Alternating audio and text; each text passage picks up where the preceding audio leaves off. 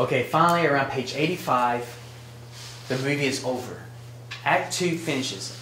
You should be able to end your movie right there and the audience be pretty much satisfied. Your main plot and your subplot have both had a finale.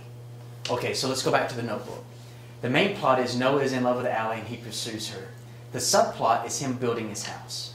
But at the end of the Act 2, when she comes to his house for the first time, at the end of Act 2, when she sees the newspaper clipping and she comes back into his life, they are on the boat. And she says, Why didn't you write me? And he says, I wrote you 365 letters. I wrote you every day for a year. And then they kiss, and then they make love, and then they wake up the next morning, and they're in the honeymoon stage, right? The fire is blazing. But then Act 3 starts. What happens? There's a disruption. They go into the door, and it's Martha, his hookup.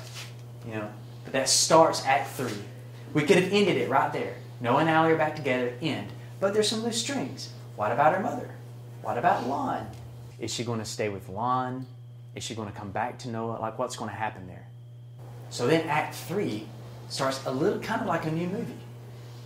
We got to tie some loose ends up here. So Act 3 is another, like, uh, like what we were talking about. Act 1 is a little movie, Act 2 is a little movie. Now Act 3 has to be a little movie.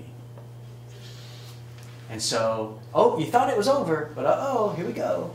You could probably say that in Star Wars, when Obi Wan Kenobi dies, that could have ended it right there. Well, everybody just go home. But Act 3 starts. How do we start Act 3? What is the inciting incident in Act 3? We got the battle plans to the Death Star. Uh, pages 85 to 110. And this is your lessons that have been learned through your journey are applied. You show them figuring it out. So in Maze Runner, your Act 3 is they've been trained, they've experienced, they've survived. Now they're going to apply the lessons that they've learned and really figure this whole thing out. So what do they do? Well, they figure out the door. They figure out how to get into the door and into the compound. But uh-oh, here's a twist. They're all dead. And all that's left is a recording. All right. So this is this is you're starting to wrap things up. So in the notebook, she leaves anyways. Even after he says, "What do you want?" she still leaves. But then and then she sits down with Lon in the hotel room and she says, "No, when I'm with him, I'm somebody, and when I'm with you, I'm somebody else. But I really love you." And we think, "Oh wow, so she chose Lon."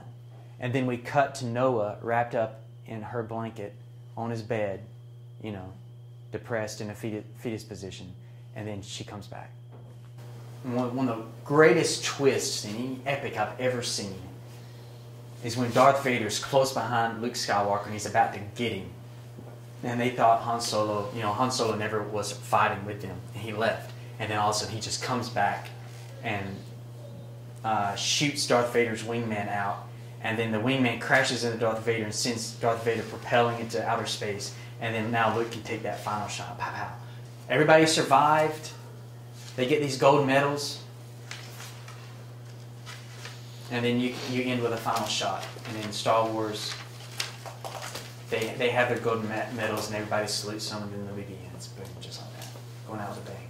Now, if you want to go back to Love Story, uh, we come full throttle back to the retirement home. So in the beginning, the guy was rowing the boat during the sunset. He's rowing the boat during the sunset. Older Allie is looking down from a very romantic view.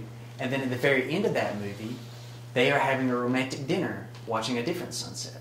You know, a day has passed. But we come back full circle to where we began. But we're different. Everybody's different because we went on a journey and we came back. Lord of the Rings, they start in the Shire, they go on the journey. At the end of the trilogy, they come back to the Shire. You see? But we're different. We came full circle. And that's it. But like I said, that's a mold for you to use.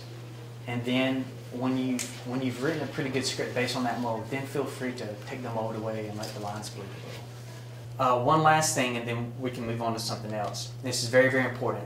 This is the the the greatest uh, piece of advice I can give you as a screenwriter, and the greatest hidden secret. There are professional scriptologists, script doctors, that have been working in Hollywood for 20 years and they will read your screenplay and they will doctor it, tell you what works, what doesn't, for like, I wouldn't pay more than five hundred or six hundred dollars for it. So for as, and you think, oh, oh, five hundred dollars, five hundred dollars is a lot of money. Not if you're really serious about filmmaking. Like for novels, it takes a good two grand of editing to get your novel in spit spot, perfect shape. Two grand if you're in indie publishing. So if you're in indie filmmaking and a guy that or a guy or a girl that's been doing this for 20 years and will do it for less than $600, that's a deal. And if you can turn around and sell your screenplay or make a movie and and net $500,000, 500 bucks is pocket change compared to that. You know, but you have to budget that and decide whether or not it's going to be worth your time. I would prefer someone living in either New York or Los Angeles or Southern California who has been out there in New York or, or Southern California working in the film industry for 20 years and has a track record of doctoring screenplays for certain screenwriters or studios. Don't just hire someone because they've been teaching theater for 20 years at a, at a university in, you know, Pennsylvania or somewhere like that. All right, be, be careful with who you hire.